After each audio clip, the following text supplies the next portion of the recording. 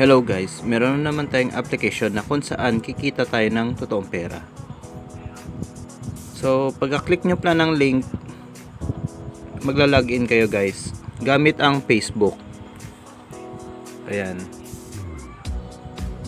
Ilalagay ko na lang pala ang link ng application na to sa description na bi- ng video na ito guys. So, i-download nyo na lang. Ayun. Nga, guys, no, naglo-loading pa no. Ayun siya guys.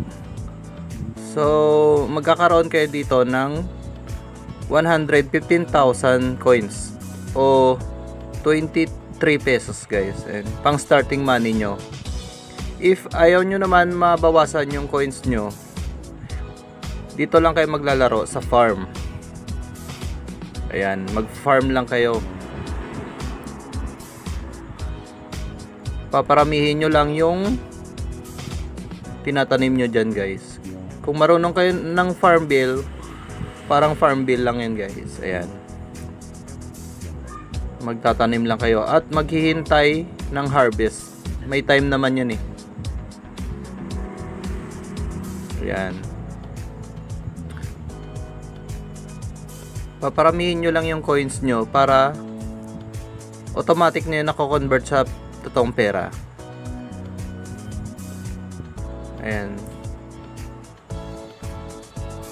So nag-uumpisa pa lang ako kaya ayan, yan pa lang yung tanim ko. Isa pa lang. Pero pag marami ka ng coins, dadami din naman yung matatanim mo dyan at mas dadami yung coins mo kasi madadami, madami kang na-harvest. If gusto mo naman ng ibang games, madami siyang games dito. Kaso may pusta nga lang. Ayan may mga pusta yan guys.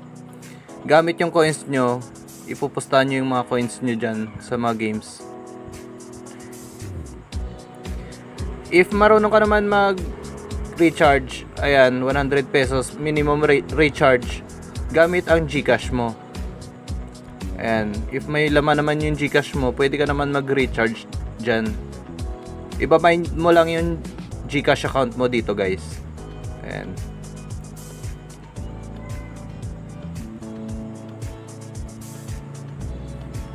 Mas mada, mas mabilis ka maka-earn if maraming coins mo dito.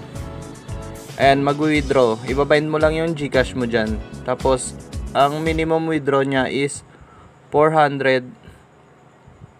Ayan, may 1,000, may 5,000, may 50,000. Direct yan sa GCash mo guys. Pagka cash out mo, papasok ka agad sa GCash man. Legit na legit naman kasi itong application na to, no?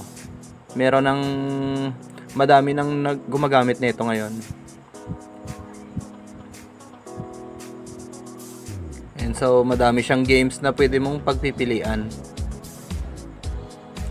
Nasa sayo na lang yan if papadamihin mo yung coins mo. Kung magaling ka naman maglaro dito guys. Ayan. Papaabutin mo lang siya ng 400 pesos para makapag cash out ka.